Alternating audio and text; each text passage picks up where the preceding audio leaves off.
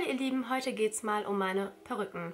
Mich fragen halt echt immer viele, woher ich die habe, wie ich die style und deswegen habe ich gedacht, mache ich mal ein kleines Video dazu.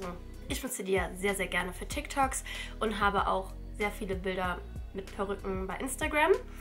Ich muss dazu sagen, ich trage die nicht auf der Straße und wenn ich es mal machen sollte, ist das echt nur für Bilder, weil ich benutze jetzt nicht die teuersten Perücken, das sind eigentlich echt sehr, sehr günstige. Die meisten kaufe ich bei Amazon, zum Beispiel die habe ich bei Amazon gekauft und die blende ich jetzt mal ein. Die habe ich zum Beispiel bei Shein gekauft. Also die kommen halt eher aus China. Irgendwann habe ich dann halt auch herausgefunden, wie man die gut zurecht machen kann und dementsprechend finde ich, sehen die für das Geld, was sie kosten, total gut aus. Also die sind ja echt günstig und deshalb finde ich, ja, die erfüllen halt ihren Zweck. Ich wechsle jetzt mal die Perücke, damit ihr sehen könnt, wie ich die zurechtschneide, wie ich die style, weil die hier ist schon gestylt und zurechtgeschnitten und ja, ich wechsle jetzt mal die Perücke. Darunter habe ich immer so eine Kappe, die die Haare versteckt. So sieht die Perücke jetzt aus. Totale Katastrophe, weil ich packe die einfach halt immer in die Schublade mit so einem Netz drüber. Die kämme ich jetzt erstmal und zwar mit einer Extensionsbürste. Nicht wundern, danach sieht die Bürste katastrophal aus, weil die halt dementsprechend auch viele Haare verlieren. So, und die haben halt unten immer so Verschlüsse, die man dann zusammen machen muss, damit das halt auch wirklich gut am Kopf hält. So, das ist auch eine von Amazon. Jetzt muss ich noch eine Sache sagen und zwar zum Beispiel die, die ich eben getragen habe. Die ist echt total angenehm, die könnte ich den ganzen Tag tragen. Die spannt ultra auf den Kopf. Also wenn ich die so eine halbe Stunde anhabe, habe ich halt auch schon Kopfschmerzen. Das kommt halt echt immer auf die Perücke an. Egal wo ich die bisher bestellt habe, egal ob es Shein war oder Amazon, wie gesagt, es ist halt auch keine mega gute Qualität.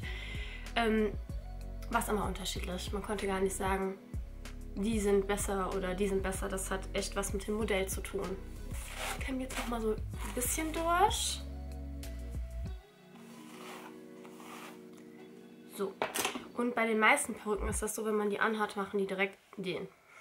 Also wunderbar, wenn man nichts sieht.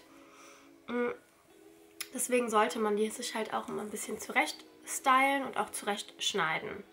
Bitte nicht so eure eigenen Haare schneiden. Also das geht sich jetzt echt nur um die Perücken, weil wenn ihr da euch verschneidet, das ist echt egal.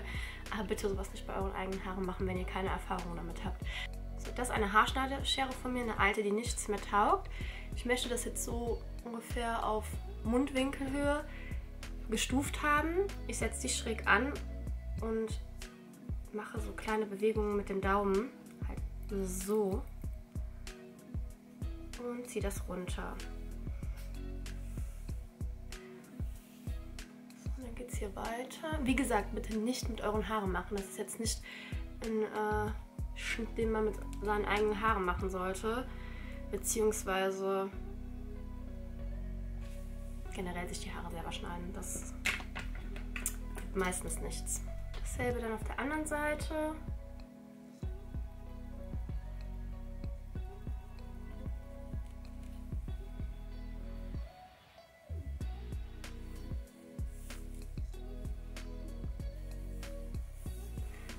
Jetzt gehe ich nochmal von hier oben rein.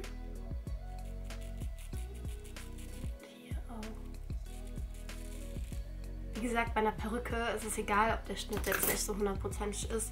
Wenn man die gestylt hat, sieht man es eh nicht. Und es ist einfach nur damit, man, ja, damit das ein bisschen natürlicher fällt und nicht so nach unten. So, jetzt benutze ich ein bisschen Elnett-Haarspray, aber echt nur so ein bisschen. Und benutze dann meinen Dyson.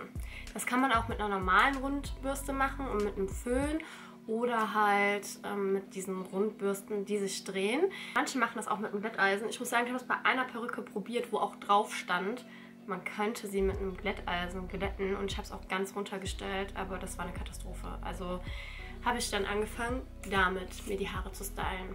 So, ich stelle das erstmal auf kalt und auf eine mittlere Stärke Und später drücke ich das dann hoch auf diese mittlere Stufe.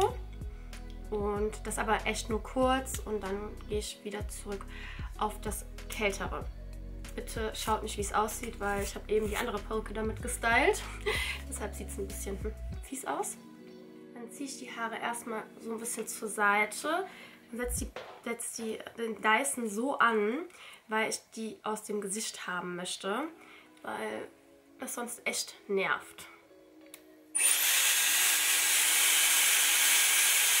Jetzt mache ich es etwas wärmer. Jetzt wieder kalt. Ziehe das weiter.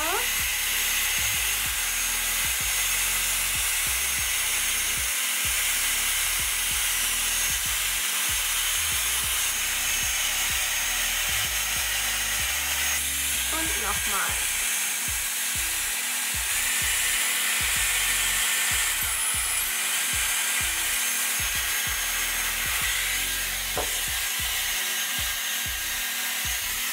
So, das fixiere ich jetzt nochmal mit ein bisschen Haarspray. Und mache dasselbe nochmal mit der Strähne. Ich kämme die vorher aber nochmal. Und der Vergleich, hier hängt es einfach voll im Gesicht und hier ist es echt okay. Also man muss zwar vielleicht mal ab und zu so machen, aber das stört mich auch generell nicht. Das habe ich bei meinen eigenen Haaren auch schon mal. Also wie ihr seht, das sieht echt nicht so dolle aus und ich finde die Seite sieht direkt um einiges besser aus. Und so sieht die Perücke dann fertig gestylt aus. Jetzt ist es noch so, bei den meisten Perücken, die ankommen, da sieht man hier immer die Naht. Ich habe da jetzt schon schwarzen Lidschatten drauf gemacht. Ich zeige euch aber trotzdem mal, wie es geht. So, in dem Fall ist es ja dann schwarzer Lidschatten. Und den tupfe ich dann halt so lang da drauf, bis es weg ist. Und das kann man auch generell noch ein bisschen oben drauf verteilen, damit die Perücke nicht so arg glänzt. Aber wirklich nur in der Farbe, die die Perücke auch hat. Hier finde ich noch nicht mal schlimm, wenn es glänzt, aber im Ansatz sieht es halt immer ein bisschen blöd aus. Und das war es halt auch schon. Das ist das, was ich mit den Perücken mache. Wie gesagt, das sind jetzt keine teuren Perücken, aber ich finde, um den Look schnell zu verändern und für Fotos oder TikToks reicht es vollkommen. Natürlich könnt ihr auch mal gerne eure Erfahrungen mit Perücken in die Kommentare schreiben und auch Links. Vielleicht kennt ihr voll den guten Online-Shop, der coole Perücken verkauft und vielleicht auch echte Haarperücken verkauft oder hochwertigere Kunsthaarperücken. Schreibt mal alles in die Kommentare, einfach eure Erfahrungen und danke fürs Zusehen und ich freue mich, wenn ihr einschaltet beim nächsten Mal.